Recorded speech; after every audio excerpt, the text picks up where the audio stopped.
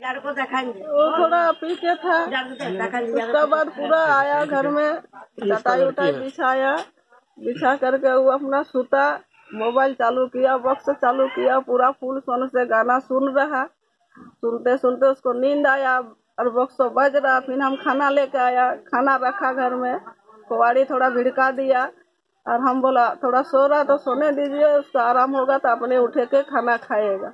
फिर खाना को फिर दूसरा जगह से दूसरा जगह उतार दिया और बस वाड़ी को बंद कर दिया।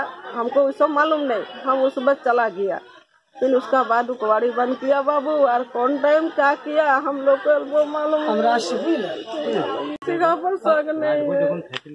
आप लड़के खाना पैसा पैखाना हाँ, चल नहीं है चल चल बोल